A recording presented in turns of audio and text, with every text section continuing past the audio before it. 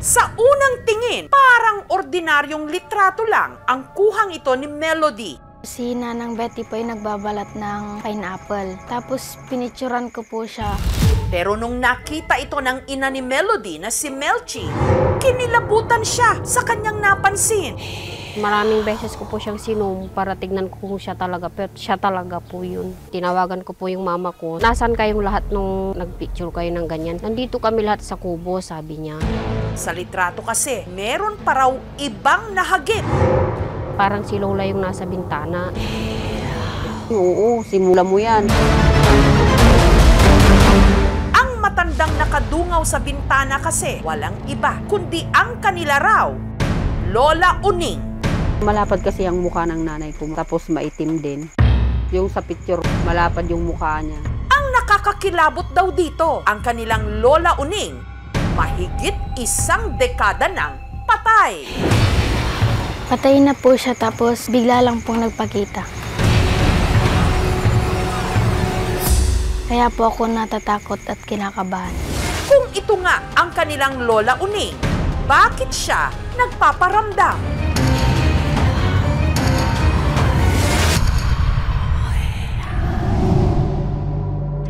Ang litrato, kuha ni Melody sa labas ng kanilang bahay sa Lagangilang Abra.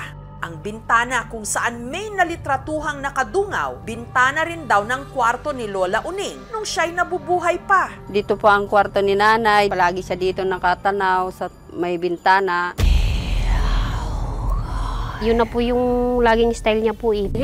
Ah, sige, sige. Mag-ingat ka. Pag wala siyang ginagawa, umupo siya yan sa bintana. Pag merong dumadaan, binibiro niya. Po doon ko po siya tinatanggalan ng puting buhok. Tapos pag bilangin mo kung ilan yung natanggal mo, ta- babayaran ko.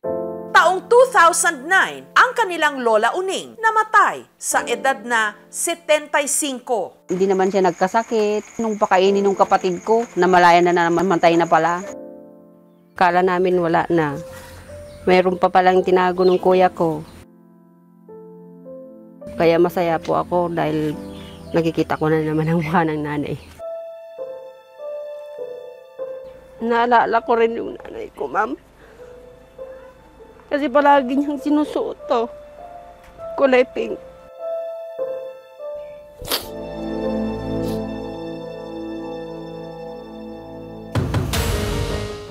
Nung yumao ang matanda, di umano, makailang beses na raw itong nagparamdam sa kanila.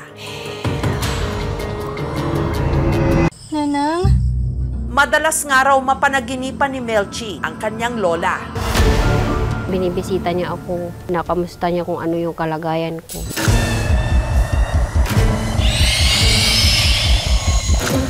Habang ang kinakasama naman ni Beatrice na si Ruben, Kung minsan lang po, mayroon lang akong naamoy na mabango. Parang pabango ng babae. Kahiga lang ako dito, parang yung mga balahibo ko tumatayo. Parang may tao nga na ano, nisilip ko kung sino yun.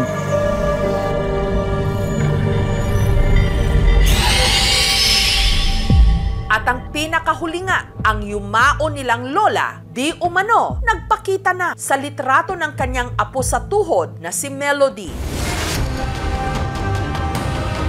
Kaya po ako natatakot at kinakabahan. Pero bakit nga ba nagpaparamdam ang kanilang lola uning?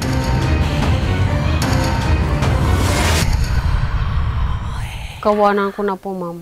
Ang kanila kasing lola uning, dati raw, kumadrona. Nagparamdam po siguro siya. Inaalala niya po ako. Mahal na mahal niya po kasi ako. Kapag pinapagalitan po ako ng nanay ko noon, dinedepensahan niya po ako. Maaaring nag-aalala raw ang kanyang lola uning, lalot ang pagbubuntis ngayon ni Melchi, maselan. Medyo problemado po kasi kailangan ko daw po masalinan ng dugo kasi anemic po ako. Siguro, sinusubaybayan tayo. Lumuluha nga ako nung ano yun, nalaman ko yun eh. Maganda na rin pag nag- nag- nagpakita ma'am kasi parang buhay. Para malaman kung sino o ano ba talaga ang sumama sa litrato, ipinasuri namin ito sa isang eksperto. Ang masasabi ko, hindi edited. Parang magkamukha. Magkahawig lang. At sa patuloy na pag-iimbestiga ng aming team, meron sila na-discover Eh, yung asawa ni Betty. Kamukha mo kamukha na siya yun, ma'am, talaga.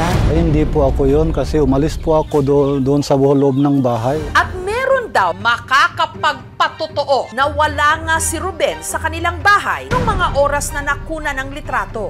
Nung July 21, nasa lubong ko si Ruben na pabalik sa papuntang terminal. Katotohanan sa likod ng misteryo sa litrato? Ipapasilip na namin sa aming pagbabalik. Litrato na kuha sa isang bahay sa Abra, nagdadala ngayon ng kilabot. Ang napicturan daw kasi na parang matanda na nakadungaw sa may bintana, hawig daw sa kanilang lola uning na labing limang taon nang patay. Oo, simula mo yan. Patay na po siya tapos bigla lang pong nagpakita. Kaya po ako natatakot at kinakabahan. Ang litrato, ipinasuri namin sa eksperto. Yung sa pagsusuri ng pixel, pag in-enlarge natin yan, makikita mo yung sharpness nito, which is yung bintana lang. Yan ay ghost image na capture ng camera. Dapat medyo dense, yung malabo-labo ba or may transparency. It looks solid. Lalo sa elbow, sa mukha, walang senyalis na yan ay ginalaw. Pero kutob niya, Hindi siya lu- lumulusot, no? Kaya totoong tao. bagay na pinaniniwalaan din ng mga kapitbahay ng pamilya. Hindi si Nanay Uning yan. Maliit na babae, ma'am, mahaba ang buhok. At saka yung manipis yung mukha, ma'am. Ang buhok ni Manang noon mahaba at hindi siya nagtatali ng buhok. Hinala naman nila ang napicturan Asawa ni Betty. Walang iba kundi ang kinakasama ni Beatriz na si Ruben. Eh, yung asawa ni Betty yun. Kamukha mo kamukha na siya yun, ma'am, talaga. Pero depensa ni Ruben, Ay, hindi po ako yon kasi umalis po ako do- doon sa loob ng bahay. Biyahe po siya sa Bangged nung oras na yun.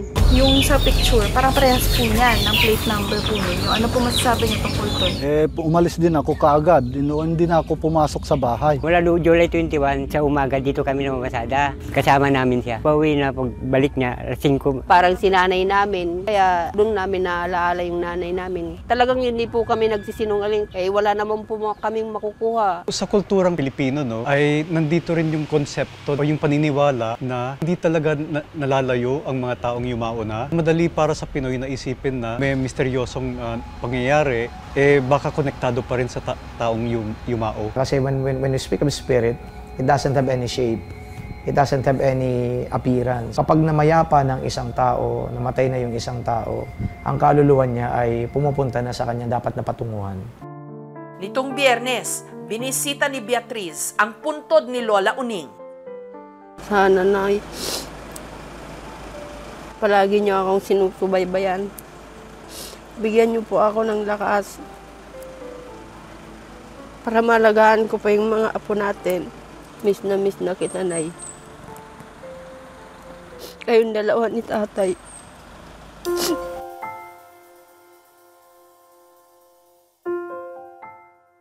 Si Lola Uning man o hindi ang nasa litrato, isa ang sigurado. Ang pagmamahal ng ating mga mahal sa buhay na wala na sa ating piling, dumudungaw hanggang sa kabilang buhay. Sana nandit buhay pa po kayo para naman matikman niyo po yung, yung mga pinagpaguran ko para makabayad man lang po ako ng utang na loob ko po sa inyo sa pag-alaga niyo sa akin.